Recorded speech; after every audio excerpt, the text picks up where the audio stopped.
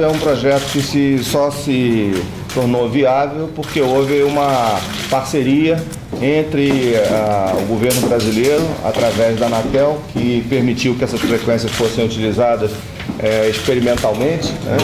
é, pela Huawei, que é o nosso parceiro, que está fornecendo a parte do core de rede e também os modems. Depois nós vamos falar um pouquinho mais em detalhe, vamos até mostrar para vocês aí algumas fotografias. Pressiona o modem e o que mais? E o core da rede, né? o núcleo da rede. Né? E é, também a Vivo, que vai fazer toda a gestão dessa rede e vai cursar todo o tráfego na sua rede. E é importante que é, nós mencionemos no dia de hoje que o, o pavilhão do Rio Centro vai estar com cobertura 4G, com velocidades muitíssimo mais altas que é, as velocidades que estão observadas hoje nas, nas redes de terceira geração, de 3G e 3G Plus. E podendo chegar, a gente sabe que essa velocidade é uma velocidade que depende das condições de uso de cada momento, mas podendo chegar até 150 megabits por segundo, né? que é uma das maiores aí velocidades que já foram oferecidas para usuários do serviço móvel no Brasil. É interessante que ele tem falado que pode atingir 100 megabits. Né? Eles estão, estão nos informando que pode chegar, nesses, nesses testes deverá chegar até 150 megabits de velocidade.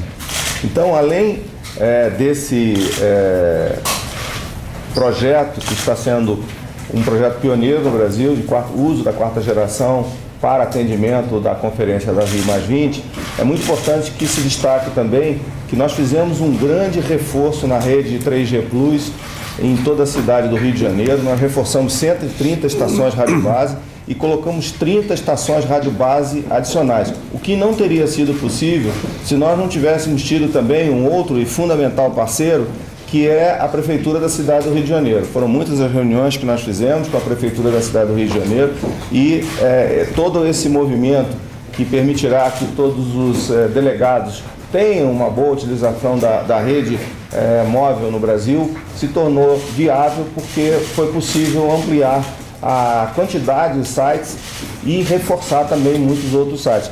Então, para nós, é, eu acho que o governo brasileiro, prefeitura da cidade do Rio de Janeiro, Huawei e Vivo, é, eu acho que é uma, uma honra muito grande ter a possibilidade de anunciar a vocês que todos os delegados receberão esses modems. Né? Nós estamos com 400 modems que serão distribuídos.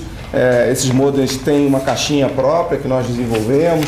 É, eles vão receber também um comunicado de como é, podem se entrar em contato com o nosso helpdesk e é, vão receber uma bolsinha. E essa uma bolsinha desse tipo aqui, só para que não levar o, o, o, assim, o modem na mão, né, né, a caixinha. E toda essa distribuição vai ser feita pelo cerimonial do, do Itamaraty nós, é, nesse momento, nós deixaremos de, de, ter algum tipo de contato. Quem estará entregando será o governo brasileiro através do cerimonial do Itamaraty.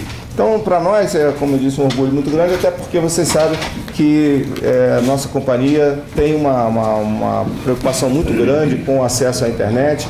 Em 1999 fez o lançamento do Speed pela primeira vez no Brasil. Estamos aí chegando a 2.832 localidades. No próximo dia 29 de junho, nós vamos fazer a ativação da última localidade 3G no Brasil, é, do nosso programa é, Vivo Internet Brasil. Então, para nós é uma satisfação muito grande que a gente esteja é, pertencendo, que nós estejamos é, desenvolvendo mais esse projeto, especialmente nessa semana, onde nós estamos extremamente contentes com o resultado do leilão de 4G. Muito bem. Presidente, são apenas os delegados que vão ter acesso aos modems? Olha, acredito que sim, né? Quer dizer, os modems são 400 modems e vão ser entregues às delegações, né? Então, provavelmente, é, a grande maioria dos delegados... Tinha que sortear um jornalista para fazer um teste. Ah, um jornalista. Né? Podemos, podemos se, não, se não forem nisso, todos, podia pegar dois ou três jornalistas. Um passa a ser o representante da imprensa. Passa a ser o, o, o representante para depois fazer, escrever um pouco sobre o teste. Essas 100 adicionais já são definitivas? para atender o Rio? Não, não, na verdade adicionais são 30, ah, aí 130 receberam reforço é, de capacidade. É tá? que essas 30, nós conversamos com o prefeito, né, o, falei com o Eduardo Paes, com o Jorge Bittar, que ajudou também, o secretário de obra. Então foram, é, esses 30 foram, foram autorizadas em caráter temporário, não é isso? Depois não sei se vai ficar lá ou não. é, até na época eu falei com o prefeito.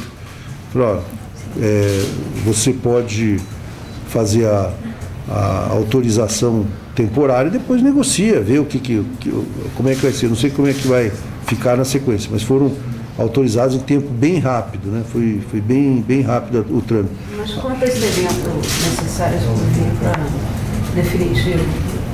Olha, eu não tenho essa resposta para você Não, para atender tá? todo o Rio com Pra todo 4G? Rio, Com 4G? Ah, é, bom. já para o ano que vem. Aí vai ser mais, né? Isso aí é um segredo industrial, mano. Eu só uma coisa, viu? O- o- ontem o cerimonial lá estava atrás de mim para saber onde estavam os kits. Eu quero te transmitir aí.